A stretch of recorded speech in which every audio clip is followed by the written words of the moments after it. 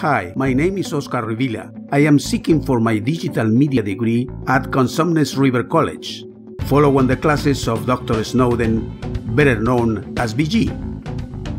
I make research about how the pixel size affect digital images, and this is what I found. There are two main categories of digital cameras, the simple point-of-shot cameras and the more sophisticated SLR cameras. As we can see, they provide the same amount of pixels. The question is, are those pixels equal? Nope, not at all. The point-of-shot camera contains an image device that is smaller than the SLR camera.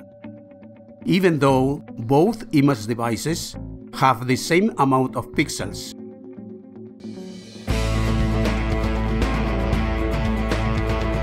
Because the image device are different in size. The larger image device contains bigger pixels, and each pixel will provide more sensitivity, more color depth, and more dynamic range than the pixels of a smaller device. Those are the image devices used by SLR cameras.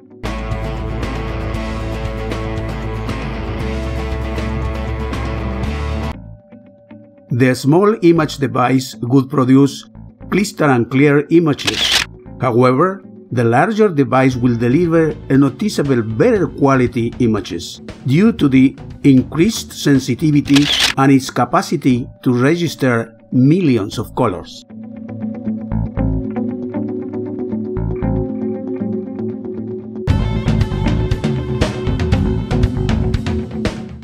As a conclusion, Bigger pixels of bigger image devices will provide better exposure, expanded dynamic range, and better color resolution.